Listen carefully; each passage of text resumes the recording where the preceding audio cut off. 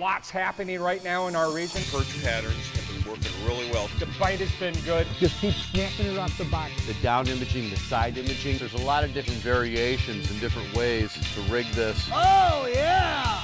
Look at this guy. They are heavy. Oh, look at that. On today's show, we're hanging out with the river rats. This is Angling Buzz TV. I'm Troy Lindner. I'm Jim Edlin.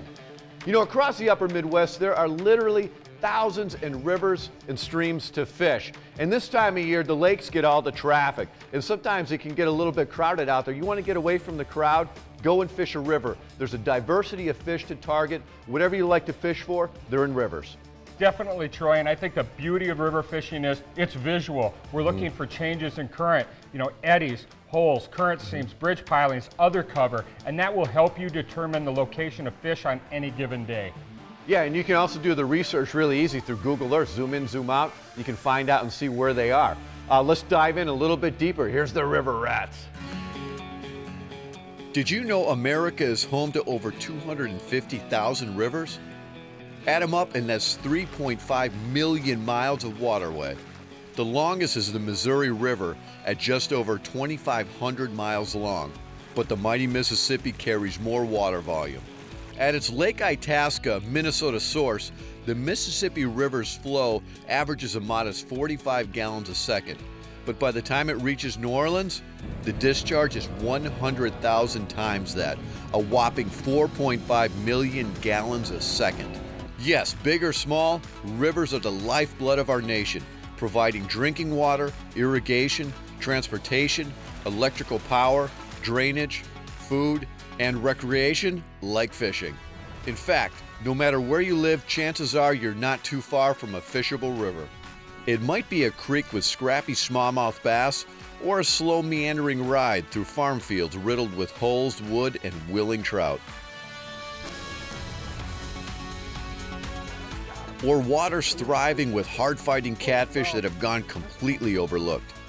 Yes, rural or urban, rivers provide a multitude of fishing opportunities the entire calendar year, no boat required.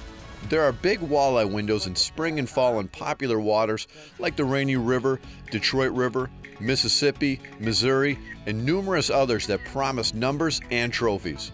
And rivers across the country with epic early season runs of white bass that'll wear out a fish counter and your arms. But true river rats will tell you that's just scratching the surface. Given the propensity of flowing waters to harbor a wide array of fish species, rivers present mixed bag fishing at its finest. We've heard it a thousand times before. I'm never quite sure what I'll catch in the river.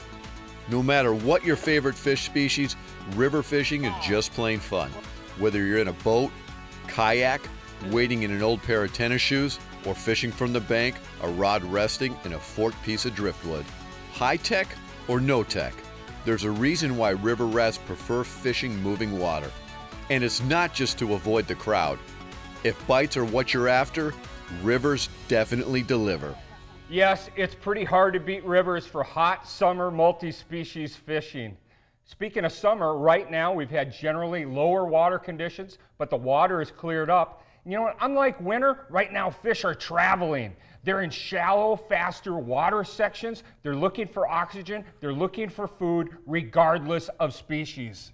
Yeah, this time of year, the fish, their metabolism is really high. They're eating a lot. And what that fast current provides, not only oxygen, but it's food. It's like a constant conveyor belt of food.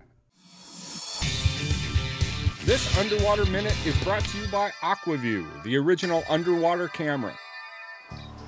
To the casual observer, rivers appear little more than collected rainwater or snowmelt flowing through the landscape.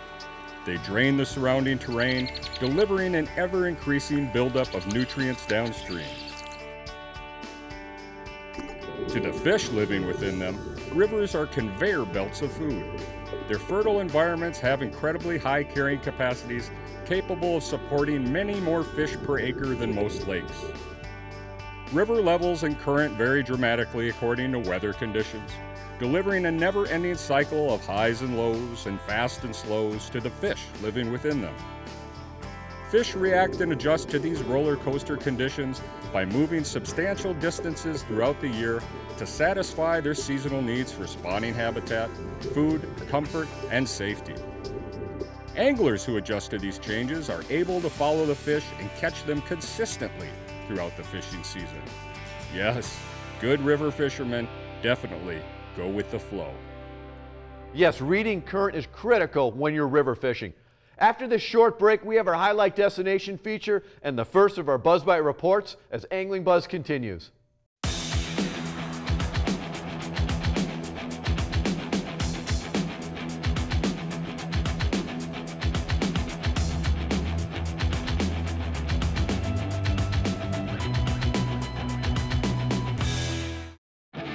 Sportfish Michigan is your number one source for top charter captains and fishing guides in Michigan.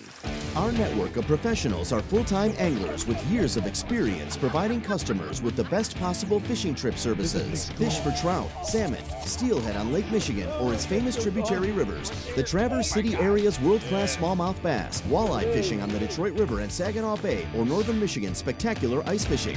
We do it all. Sportfish Michigan. Get out. Get bit. You have a choice turf or surf. It's fishing season. Welcome to the outdoors. We're baiting, casting, drifting, and limiting out. The outdoors never felt so good. Catch, release, and keepers. The outdoors never tasted so good. It's fishing season. We are outdoors. Mills Fleet Farm. Lake Vermilion. Explore. Relax. Reconnect. Minnesota's most beautiful lake. Oh. Get hooked on our trophy walleye, That's a beauty. bass, My favorite fish. musky fish. That's a beauty there. Things to do? You'll never get bored. Rooms with a view? We got 'em. Lake Vermilion. Four seasons of fun. Welcome back to Angling Buzz. Without question, my favorite fish to target are trout. Little rivers, little streams, making little pinpoint casts, even if they're like this big or if they're big browns like that big. Also rainbows and brooks. It's just fun, so much fun. I know you love trout, Troy. I've seen your videos. They're super exciting with your ninja gear, catching them across the country on road trips. When I'm fishing the river, I go out fishing for walleyes, but I typically have kids with. So I'm always watching my electronics for marks, maybe big marks. You know, every once in a while you get a big flathead or a school of white bass comes through, and that's fun for the entire family. The thing is, some of these spots, everything filters through them. You know, the mm-hmm. current seams, the back eddies. It's like a smorgasbord of everything in the river. Yeah, it is. Let's head around the Angling Buzz region for some top river destinations.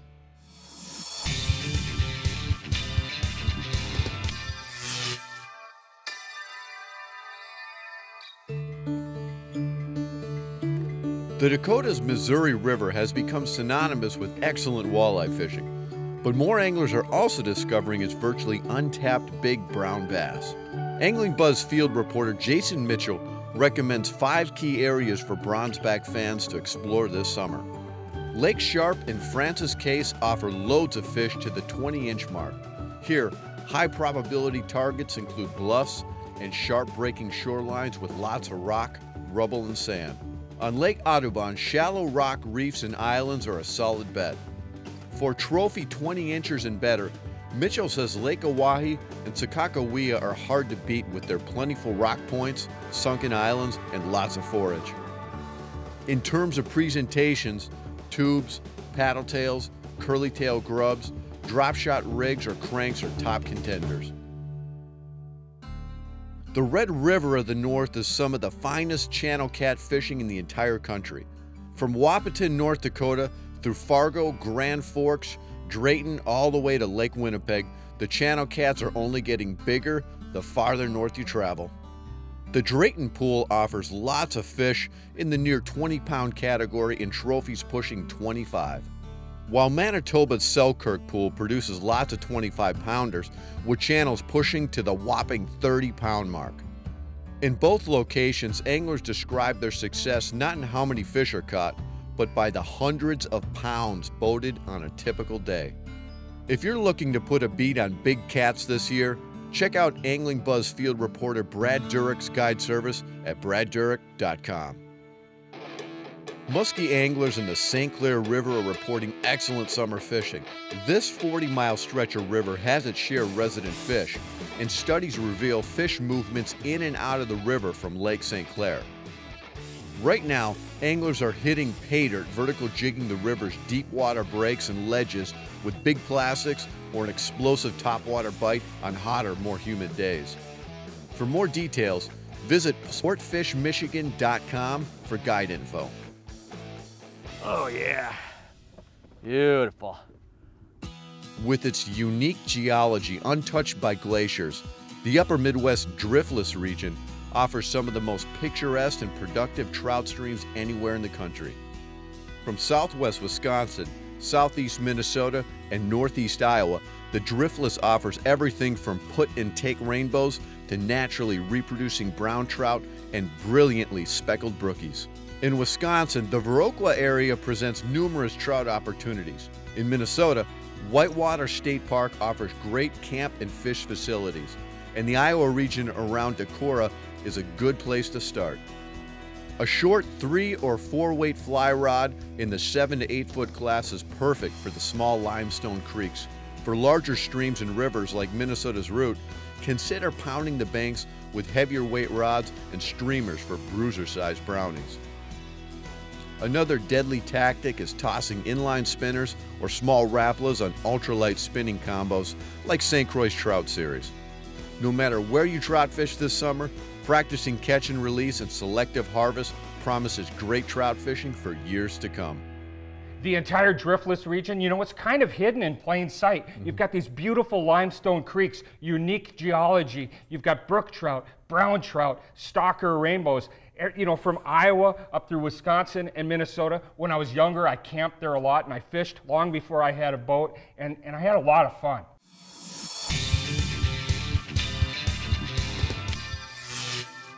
Hey everybody, Jason Freed here with Leisure Outdoor Adventures. It's mid-July and one word to think about, speed.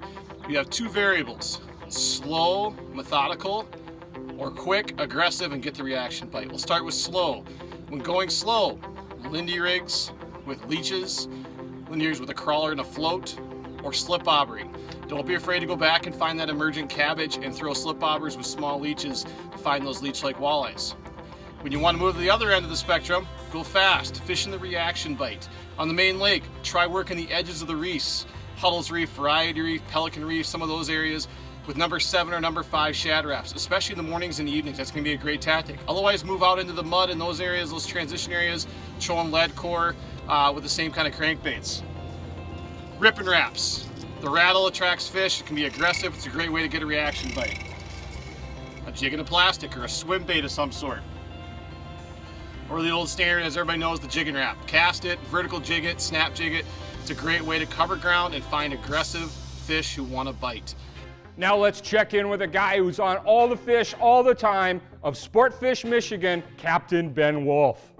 It's mid-July here in Michigan, and many anglers are talking about the Lake Michigan king salmon fishery. Ports like Muskegon, Grand Haven, Saugatuck, Manistee, and even Frankfort are producing some very nice catches of king salmon right now, including some whoppers topping 30 pounds. Trolling remains the best way to target these king salmon, and anglers using a mix of spoons as well as meat rigs are able to boat these feisty Great Lakes salmon. For fly anglers wanting to hit the river, a mouse pattern fished at night is a great way to target big brown trout. Also, during the day, a grasshopper pattern is a great way to target the daytime bite. For bass anglers across the state, we have lots of options, even though it's the dead of summer right now. Spinner baits fished in the wind are a great tool to locate and catch summertime fish that are aggressive, and fishing the deep break down in the deep water with a drop shot rig is a great option looking for those deep water bites. For more information, or if you're looking for a captain or guide in the state of Michigan, please give Sportfish Michigan a call or check us out on the web, sportfishmichigan.com.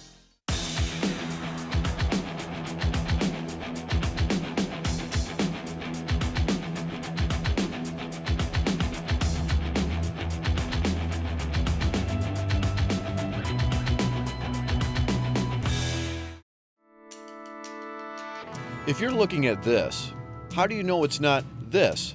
If you see this, how do you know it's not actually this? Trust your Aqua-Vu and you'll see the real underwater world. Aqua-Vu leads by innovation.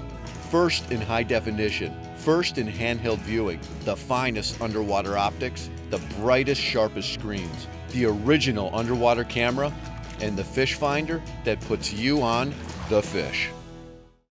Looking for the perfect fishing vacation? Leech Lake, Minnesota. There's over 112,000 acres of water to explore with fantastic walleye, bass, pike, panfish, and trophy muskies. The fishing opportunities are endless. Leech Lake has it all with over 30 resorts, lodges, campgrounds, and hotels line its pristine shores. Plan your trip. It's Minnesota's original up north vacation destination.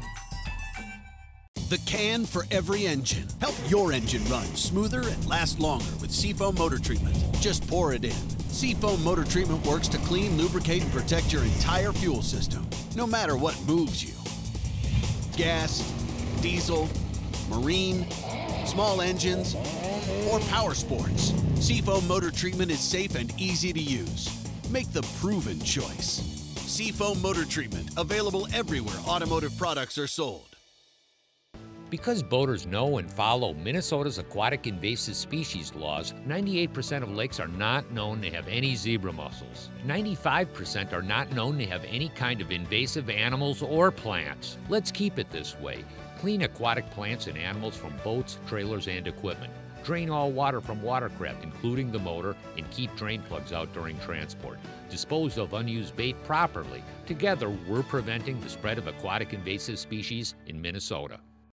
Welcome back to Angling Buzz. Now let's drop in on the Alexandria region with Ben Hittle. Out here doing some power jig wrapping, getting after these walleyes in the summertime. It's pretty fun on these uh, Rapala Jigging Raps. Out here on main lake structures, looking for these big fish, just driving around, reading them, dropping jig Raps on them in 20 to 25 feet of water. Can't be any funner than that. Put this one back. What I've been looking for is all these main lake islands, big islands, big sand islands, no weeds on them, no rocks, just sand islands with the bait fish pushed up on them on these windy days. I've just been driving around looking for bait fish and you've been seeing these nice big arcs on the depth finder ones or two, threes at a time and I just, me and the clients, we just go around, we'll just drop jig Raps on them and then big fish will just come up and crush it. Now let's check in on one of my favorite waters, northern Minnesota's Lake Vermilion. Fishing has been very consistent lately. Fish are setting up in their normal midsummer patterns. Um, your walleye are being found in the 22 to 30 foot range on sand to mud transitional areas. One thing to keep in mind, we are on the tail end of the mayfly hatch. There's a lot of food down there for them to eat. Rigging crawlers and leeches on long, light snells has been the ticket as of late. You just got to keep it in front of their face for a bit. Your smallmouth are being found on your primary and secondary structure. However, your larger smallies I've found um, are coming off your primary points and fingers and stuff like that. Um, larger isolated boulders will usually hold a fish or two. Your musky bite has also been good. Some of my favorite baits to cast at this time of year, a big tooth mag 8, Dadson bullets, and Shumway flashers. I find that it's very important to keep switching up your color, your size, your speed, and find out what works for the day, and you should see fish hit the bag. We've been hearing some great reports from our neighbors to the east, Wisconsin. Let's check in and see what's going on. We're still chasing smallmouth bass primarily. Uh, the fish are transitioning into their post-spawn uh, kind of early summer feed. Uh, they're chasing bait fish, uh, lake shiners primarily. Uh, they're starting to transition from their shallow spots to their summer holes, and out here, summer holes are, are steep drops, uh, deep weeds, uh, places where current sweeps around another spot. Uh, kind of the elephant in the room right now is the hex hatch that's happening all over the Midwest, obviously. But out here, luckily, it kind of happens in stages. Different parts of the bay warm up at different times, thus the bugs come off in different places within the bay. Uh, I like to find the places that they're not coming off, obviously, um, or the places where the fish are actively chasing bait. Now let's take it west and check in on the bite in South Dakota. The bite's changed a bunch over the last week. We still have a good shallow bite up in the Moreau River where you can go through quite a few fish in a day, 40, 50 fish a day.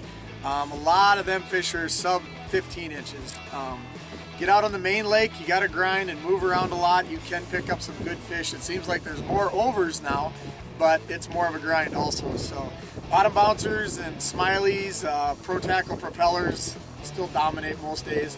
Um, you know, Lindy rigs and leeches and stuff out on the long points and uh, maybe a creek chub here and there, but it's uh, it's a lot of fun. You do see, a like I said, there's a lot more big fish and they're healthy big fish. They're heavy, 22 incher away, right close to five pounds a lot of times. So it's uh, it's a little different. The heat makes it a little bit more of a struggle. So get out there early in the morning and get after it. But uh, give us a shout at wahewings.com. Take care, everybody.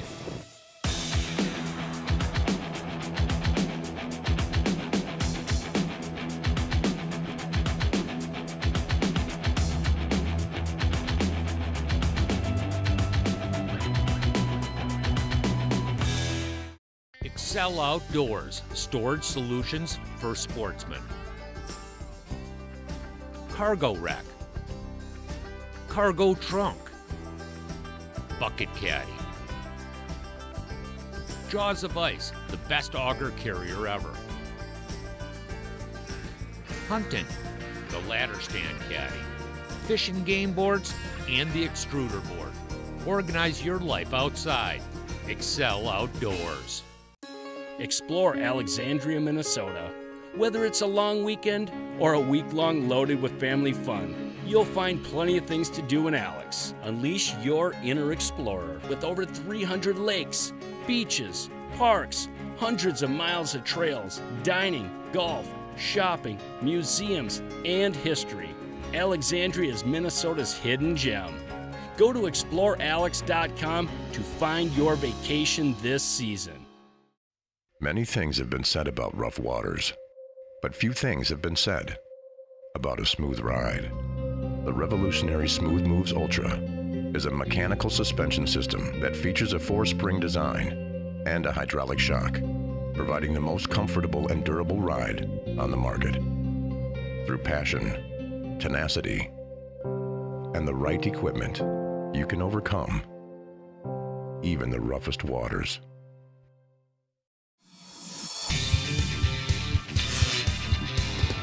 And now it's time for our cool product segment brought to you by Mills Fleet Farm. We're talking river fishing. We're going to start with this Richter anchor by Greenfield. What's nice about this, you can see this, these two little rings right there. So you set the anchor, the anchor pins down. A lot of times if you're fishing in river, you're fishing around wood and timber. So this pins down, maybe you can't pull it back out. So you move the boat to the other side, you just kind of reverse it. This spins around like that and you can easily pull this out. This is the Richter anchor by Greenfield. A good fillet knife is always nice to have. Here's one from Cuda. This is titanium bonded. It's going to last a long time. Got a nice handle, a nice holder right here. Uh, the titanium bonding actually makes it three times harder than steel, so it's going to last a long time. Check it out from Cuda. Northland Tackle makes some fantastic jigs, as you know, and specifically for fishing in current. Their current cutter jig series is really good. Different colors, different sizes. Probably the best way to fish them on like uh, soft plastics like this, uh, this Impulse swim bait. And also from Northland Tackle, the Thumper jig, Thumper spin jig, and the Whistler jig. A couple different options with little blades on there for a little bit different presentation. All are available from Northland Tackle. If you're bait fishing for cats, well, you need a good hook, and VMC makes some awesome ones. The octopus style hooks, tournament circle hooks. If you're fishing for like big flatheads, you know, a bigger six aught hook, smaller fish, uh, relatively smaller, I should say. Uh, four aught hook, like this tournament circle is really good. And then having a no roll sinker. This is really key when you're fishing in fast current, moving water. You don't want a sinker that's going to roll and tumble with the water. So these flat sided no roll sinkers are really good to have in your tackle box you know, a few sizes, one ounce, two ounce, three ounce, four ounce, will work just fine. St. Croix makes some great rods for catfishing, specifically the Mojo Cat series. They have both bait casting and spinning models available. This, in fact, uh, won the 2016 Field and Stream Best Cat Rod, come in different sizes and different lengths as well. Check it out from St. Croix Rod, the Mojo Cat series. And crankbaits are always important, you know, for uh, multi-species fishing. Bagley makes some awesome ones in the balsa shad, smaller sizes, like the five all the way up to an eight. You can cast these, you can control these. You're fishing in clear water, uh, maybe some more natural colors like crayfish and perch, stained water, you know, chartreuse, bright blue, bright purple, like that work just fine. From Bagley, the balsa shad series. Another great option are rattle baits. This is from Viper Custom Tackle. Now these are actually Rapala Rippin' Raps, but they come in custom colors, some really, really wild different designs depending on what kind of water you want to fish. There's some purple chartreuse and like this one here with the different spots and that's pretty cool. That's from Viper Custom Tackle. Braid is great for catfishing because they're a strong fish, but also having like a brighter colored braid as sort of a strike indicator is also important. Um, not only for the strength of the braid, you know, 30 pound, even up to 80 depending on the size of the fish, but with that brighter colored braid, you can see when they're nibbling on the bait and you know when to set the hook. And lastly, from Frogg Toggs to Hellbender waders. Frogg Toggs really makes some affordable gear that's extremely durable and very reliable. This Hellbender series here, you have an adjustable wading belt right here. The suspenders easily adjust. You have these waterproof zipper pockets on the front, as well as a small pocket on the inside for valuables. The boots are awesome. They have good grip. The seams nice and waterproof, very durable, very strong from Frogg Toggs to Hellbender waders. All these products are available at your local Mills Fleet Farm store, also online at fleetfarm.com. And right now, it's time for our technique of the week. You know, depth of water in a small river like this is sort of relative. In some rivers, four to five foot might be actually a deep hole. In this particular river, it's about seven to eight foot are the deeper holes. And that's where it's gonna concentrate the fish, particularly if you have, as you can see here, we got a lot of cover here, wood. See how you got that little bow in the line? That's perfect. With that two ounce sinker, it's keeping me pinned. One thing with catfishing, you don't want the bait floating around. You want to, when you're, anytime you're fishing for catfishing situations, you want to lean on the heavy versus going light. You want the bait to be pinned to the bottom. And then what I do is a lot of times I cast the bait out, let it pin it to the bottom and then back off. You can see I put just a slight bow in the line like this, drop the rod tip back and you can really distinguish bites with this bright color line. This is 30 pound siege. And boy, you can, when usually when the fish hits it, it'll jump up. Got him. Whoa, whoa, holy Whoa, mackerel, kicking wow. your butt. No, not yet. There we go. No, that- I like that. Uh, Did he just dunk it Well, what? yeah, boy, he just drilled it. You know, we're actually in central Minnesota, land of 10,000 lakes. The other thing that we have a lot of is rivers. Hey, on next week's show, we're talking the state of bass fishing today. That's going to be a good one. And as always, we want to remind you to help stop the spread of aquatic invasive species. Anytime you leave any body of water, remember, clean, drain, and dry. And be sure to check us out online at anglingbuzz.com. All of our current guide reports are there. We also have tips, tactics, articles to help you catch fish right now. Thank you for joining us this week. I'm Troy Lindner. I'm Jim Edlin. We'll see you next week. This week's Buzz Bite Report. Tony Roach. Ray Brostock. Lee Telkin here. Brad Durick up here on the Red River. Muskegon River. Leech Lake. Devil's Lake. Beautiful Lake Vermilion. Top water's been really, really fun. Go to the plastics. Bass like this. A lot of walleyes like that. Giant bluegills. From Sturgeon Bay. Lake Sakakawea. Good luck, everybody. Have fun. We'll see you next week.